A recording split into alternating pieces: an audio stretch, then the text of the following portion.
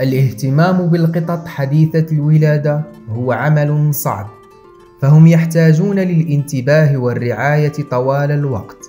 فإذا كنت مسؤولا عن قطط مولودة مؤخرا ستحتاج لبذل المزيد من الجهد في الرعاية خاصة إذا كانت الأم غير قادرة على رعايتهم فتضطر أنت للقيام بمهامها.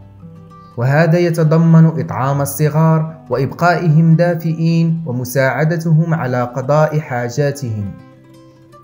وفي هذا الفيديو سنقدم لكم خمس أساسيات للعناية بالقطط حديثة الولادة.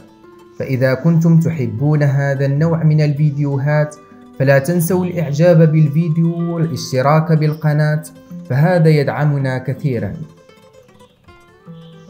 أولا تقديم كميات مناسبة من الطعام للقطط الصغيرة.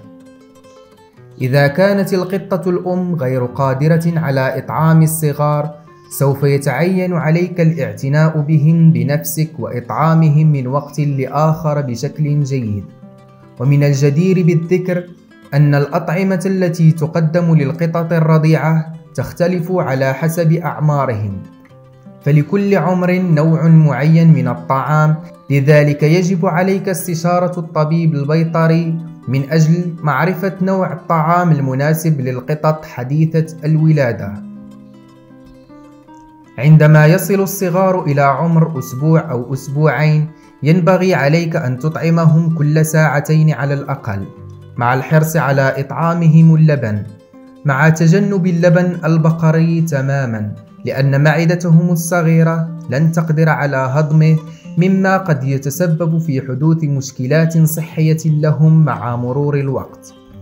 وعندما تصل أعمار القطط إلى عمر ثلاثة أو أربعة أسابيع يمكنك وضع اللبن في وعاء عميق بجوار الطعام المخصص للقطط حديثة الولادة.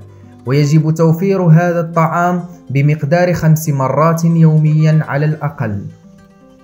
عند وصول أعمارهم من عمر 6 إلى 12 أسبوع ينبغي أن تقوم بتقديم كمية أكبر من الطعام مع البدء في تقديم الأطعمة المجففة إليهم لأن معدتهم تصبح أكثر قدرة على التحمل مما مضى. ثانياً حمل القطط الصغيرة برفق احرص على حمل القطط الصغيرة حديثة الولادة برفق شديد مع تجنب استخدام القسوة في التعامل لأن القطط في هذا العمر تكون ضعيفة للغاية. فلا تتحمل أي قبضة شديدة وقد تصاب بأضرار خطيرة إذ تم حملها بشكل خاطئ. ثالثاً تخصيص مكان لنوم القطط الصغيرة. تحتاج القطط الصغيرة دائما إلى الراحة والنوم لفترات طويلة. لذلك يجب عليك توفير صندوق خاص ووضعه في مكان دافئ ومريح لأن القطط الصغيرة تكون بحاجة إلى الدفء التام والبعد عن التيارات الهوائية التي تتسبب في إصابتها بالأمراض.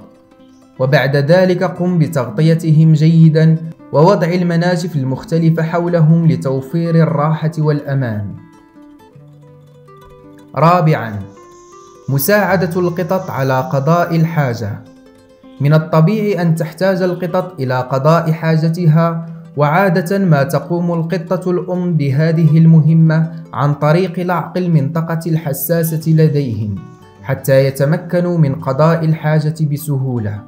وعندما تجدها تقوم بذلك يجب عليك تركها تماما فهي تعرف جيدا كيف يمكنها الاعتناء بهم.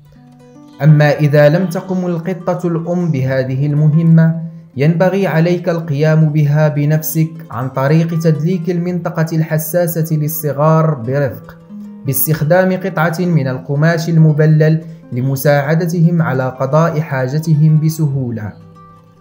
إذا لاحظت أن هناك قطة من القطط لا تستطيع قضاء حاجتها بشكل سليم ينبغي عليك استشارة الطبيب فوراً فقد تكون مصابة بإمساك أو أي مرض يمنعها من ذلك ويجب الإطمئنان على القطط من وقت لآخر. خامساً استشارة الطبيب البيطري. عليك أن تستشير الأطباء البيطريين أو الذهاب إلى أقرب عيادة بيطرية لمعرفة أفضل الطرق اللازمة لرعايتهم والعناية بهم. فهم بحاجة دائمة إلى الرعاية والاهتمام وتوفير الكثير من المتطلبات الغذائية والأدوية. نشكركم على المتابعة وإلى فيديو قادم إن شاء الله.